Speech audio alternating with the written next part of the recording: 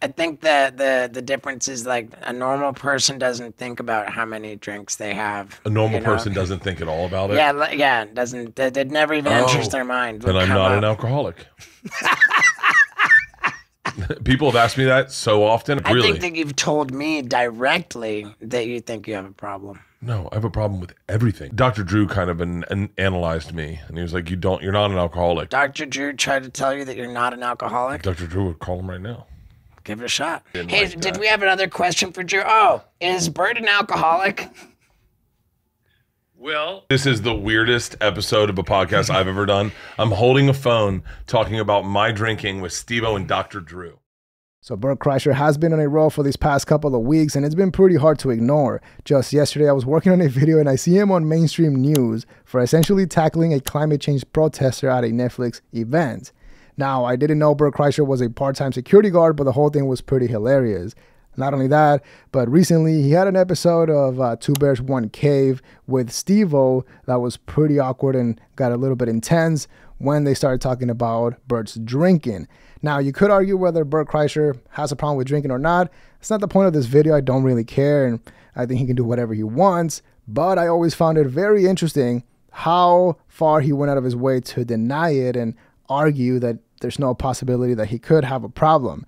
And well, it happened again with Steve-O. Now, I'm not a huge Steve-O fan, but you do have to give him props for actually calling out Bert Kreischer and not letting him just say the most insane things without any pushback, which of course created some pretty intense but entertaining moments on that episode. I haven't had sugar in 74 Wow, days. dude. I haven't had sugar. I'm proud of you, man. In But- but 70 isn't alcohol filled with sugar? I haven't had alcohol. Oh, 74 what? Are you serious? Yeah, yeah, yeah, yeah. Yeah. So you're just like white knuckling it? no, no. I'm not sober. And by the way, so far I've, inter- I've interrupted you twice. I'm really trying to be a lot better Uh, about that. By the way, don't worry. I'm interrupting you nonstop. This is what we do. Keep going. Okay. If you don't like it, I'm so sorry. I, I, I- care about improving my. I do too, but I can't help it. Yeah. Keep going. Okay. Um, when, when I was in rehab, right? Like, um, By the way, always interrupt me if you're going to tell a story about rehab. okay. Why? Why did rehab work for you? Uh, I was just ready, man. I Well, you I was- were you I- were ready. I was ready. Well, okay, here's the thing, because like I, I'm I'm trying to figure out what I'm doing. I mean, I'm gonna drink again one day. I don't know when. I think I'm gonna do it on my cruise, but uh, is, I would have I would have already have drank if you're watching this. Probably, I'm guessing, considering it's my birthday. I'm gonna be in the Cayman Islands. If you're watching this, I probably already drank. Do you? Were you were, was alcohol ever your thing? I mean, I could never even fathom going a single day without it. Really? Yeah. Now, Bert Kreischer did interrupt Steve a lot on that episode, but that's not the point of this video because I think we can all agree that by this point, anybody that watches the solo episodes of Two Bears One Cave with uh, Bert Kreischer already know that it's essentially another episode of Bertcast where he makes the whole episode about himself, which funny enough ended up working against him because if he would have kept the conversation about Steve-O and asked him what what he's been up to lately, they could have had a pretty decent episode, but instead, Bert decided to make it all about himself, which eventually led to the conversation about him drinking. Now, I don't think Steve went there with the plan to call out Bert Kreischer about his uh, problem, but instead, he slowly started getting fed up and uh, getting tired of hearing Bert Kreischer's nonsense. For example, one of the first things that Bert Kreischer said that was pretty wild was asking uh, Steve if he actually had a problem with alcohol or if it was ever his thing. It's almost like Bert Kreischer forgot who he was talking to because Steve has a video with over 6 million views on his own YouTube channel where he goes over all the times that he got completely wasted on camera, just on camera. Now imagine all the times that he wasn't. Obviously, he did have a problem. So that question was pretty silly. But like, I knew even then that my bone's connected to my booze bone, and my booze bone's connected to my coke bone, and my bones. You just can't not. I thought my bone was connected to my booze bone. I thought I really did, and that's why I was like, when I when I stopped partying, I went. I mean, oh, dude, you get cotton mouth. You're thirsty. You need a drink. oh no no no! As soon as you have a drink, then you need. And then Tom, I was said to Tom casually, we're talking, and I was like, "What's the longest you could go without a drink?" And he was like, "I don't know when the last time I had a drink was." It was like a game changer. I was like, "Sweet, you don't like have a drink at the end of every day?" And he was like, "No." I was like, "That- "How do you like dial down?" And he goes, "Like just sit on the couch."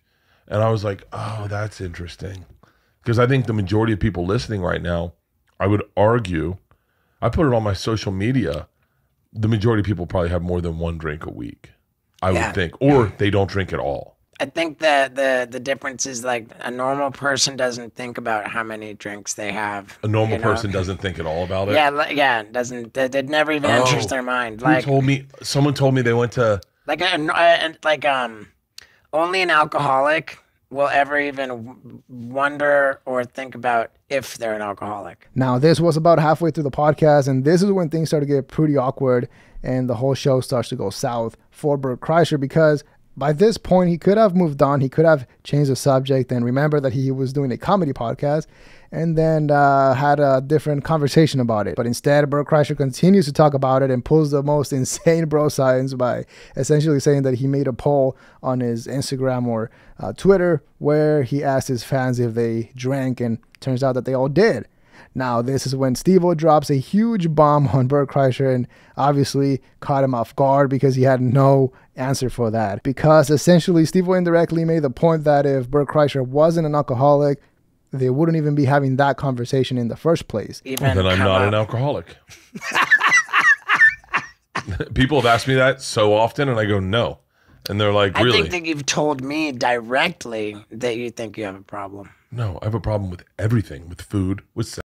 Like I, I, I, everything. I have a problem with everything. That's just my personality. Dr. Drew kind of an, an analyzed me, and he was like, "You don't. You're not an alcoholic, but you definitely drink too much." Dr. Drew tried to tell you that you're not an alcoholic. Dr. Drew would call him right now. Give it a shot. By the way, Whenever I go to a doctor visit, they're like. by the way, if he says I'm an alcoholic, edit this out. Keep going. And Dr. Drew does call back towards the end of the podcast and they have a pretty tough conversation. But I think it's so wild the fact that Bert Kreischer actually triples down and uh, tries to prove that he's not an alcoholic by calling Dr. Drew. I mean, I don't know what he was expecting from that conversation, but it didn't go well for him at all. It was just a pretty bad look. Now, I do respect the fact that they left all that in and didn't take it out, but uh, yeah, it wasn't a good look, and it doesn't stop there because after that, Bert Kreischer shares the most insane theory about how he feels uh, about people that are sober or in recovery. Uh, yeah, no, Doctor. I've talked. If you don't, yeah, if you, think, if you don't think I've talked to Doctor Drew about my drinking before, Yeah. you're out of your mind. I also have a theory. I also have a theory. You're not going to like this theory. okay, I believe everyone who is an admitted alcoholic sees everyone's drinking problem. I think they. I think it's like they're hyper aware of everyone's drinking problem and see everything as a problem. I like because you. It's really hard talking to anyone that's in recovery and not them not convincing you you have a problem. I think recovery is contagious. okay. Um, I mean, I don't know, I, and whatever. The, my view on it is that um, it's like uh, people who have diabetes, they're not mad at sugar, and they don't like. Oh, I think they are. You don't think just- people with diabetes want to eat sugar? Su- well, well, sugar's not a bad thing. It's just that they can't have it. Yeah, but I think they live a life where they go, I would love to be able to eat cake at a birthday party. Yeah, but they Right. know they can't have it. Yeah. So, so, so it's not that sugar's bad. It's just that they can't have it. Yeah. Like I, I uh, just can't have it. Yeah. No, You know? I, so I, I alcohol's agree not with alcohol's not bad.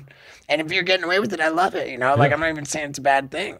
Yeah. You know, and maybe you're not an alcoholic. I don't care. I don't know. Yeah. Now, we won't even try to break down the insane mental gymnastics that Bert Kreischer just did because I don't even know if he has actually thought that through or if he just said it because he was uh, getting upset that, uh, or maybe he felt that he was being attacked by Steve-O and felt like saying that to his face. Because keep in mind that by this point, Steve-O had already called out Bert Kreischer for essentially lying about him saying that he didn't, he didn't believe he had a problem and then also for uh, not getting an answer from Dr. Drew right away. And something I found very interesting and wanted to point out was the fact that only three years ago, Bert Kreischer was one of uh, Steve-O's first guests on his own show, the uh, Wild Ride podcast, and it's now one of their most viewed episodes. So the vibe was great. They had a great conversation, and it, was a fun podcast overall.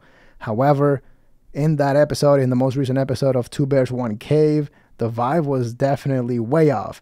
And you can kind of uh, pinpoint it to Bert Kreischer. Now, I could be wrong, but keep in mind that just three years ago, when they recorded that podcast with Steve-O, Bert Kreischer was still doing theaters. And obviously, during the past three years, his career completely exploded.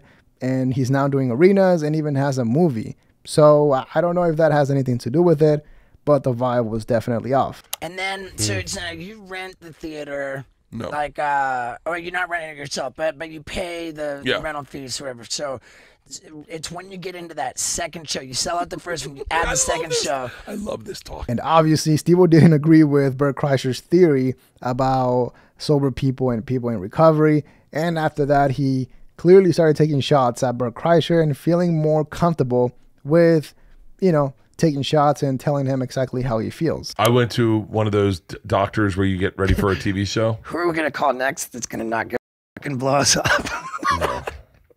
Drew's, Drew must be with a patient. I, I don't know that uh, that this was a bad one. I mean, we were a little bit all over the place. Not a bad one. I mean, yeah, I was telling great stories and you all up, but it's, you know, I I didn't. like it up. Well, because I got there, I was. I remember I was talking about it a bit in the psych ward. That was the juiciest shit ever, and then you derailed it.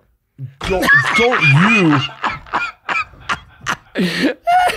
I just with you, dude. And of course, Steve had to play it off as if it was a joke, but it was the truth. Because before that, Steve was getting into one of his many stories about, about rehab and psych wards and all that stuff when Bert Kreischer clearly cut him off and started talking about himself. Which, funny enough, if Bert Kreischer would have heard the story, he probably would have never called Dr. Drew in the first place. Because the story was that Dr. Drew was essentially running the rehab center that Steve went to and got help from. I mean, I've heard some pretty bad stuff about rehabs and some good stuff about it. I mean, uh, Steve is living proof of that. But I'm just saying that if he would have heard that story and knew that Dr. Drew was actually running a uh, rehab center in the past, I don't know if he would have called them to ask if he thought he was if he was an alcoholic. I had a roommate. Dr. Drew. Yeah, Dr. there he is.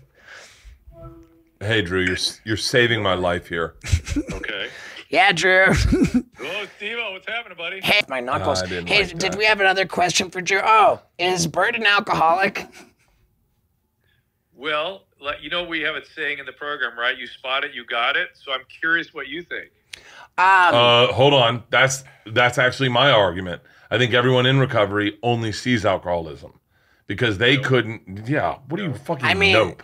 the, the literature tells me that it's not my role to diagnose another Okay, alcoholic. okay, fair we just we just say, hey, if you find that once you start you can't stop, we have a solution. Not pushing that- it on you, but we're here when you're ready. too. But back to Bert. Bert has a binge issue for sure. Whether that's real deal stuff, I can't. It's hard to tell. He gets it under control on his own, so it's hard to, you know, what I mean, he actually does get it under control, right? So when people ha- can do that, it's hard to say, well, you got to you know, follow me. We've got some ideas. but we'll see. You know, when if he wants help, there's help available. There you go. I love it. I'm good. I, I, I, Th- This is the weirdest episode of a podcast I've ever done. I'm holding a phone talking about my drinking with Steve-O and Dr. Drew. yeah. Well, I, uh, I Now, Steve-O was a little bit too excited to ask Dr. Drew if he thought Bert Kreischer was an alcoholic or not because it was clearly a ridiculous question. And since they were both put on the spot, Dr. Drew pulled the typical, well, what do you think? And then Steve-O was like, well, I can't judge, so what do you think? And so they just went back and forth, and uh, Dr. Drew gave a pretty generic answer. Now, here's the thing I don't even think Bert Kreischer is that bad with alcohol. I think it's mostly the image and the persona that he built around it that makes it interesting to talk about it and make videos about it because.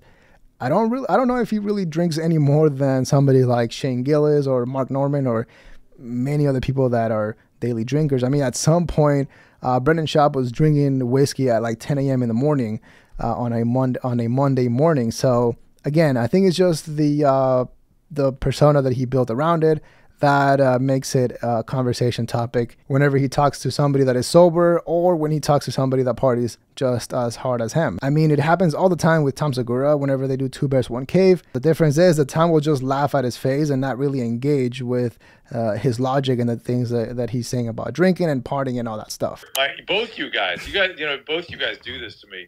Do You what? both scare me. You're my friends, and you do, yeah. And you First do of all, first of all, my I- blood sugar's at 82 today. My fucking blood pressure is better than it's ever been. I'm down f- almost 40 pounds. Like I, I'm, I, I'm proud of you. yeah, I know. And, and you look, and, and you guys look. Steve-O's years into recovery. He's a he's I, I his He's recovery is a is a inspiration. very much so. I sent him a text of that. I sent him a text of that. I've, Yeah, trust me, I've talked to Drew a lot. Well, I'm allowed. He used to tell me that that uh, because we were friends, he wouldn't be my doctor. Oh yeah. But now he's violated his own rule. Um, do you wish you had done the episode with Tom?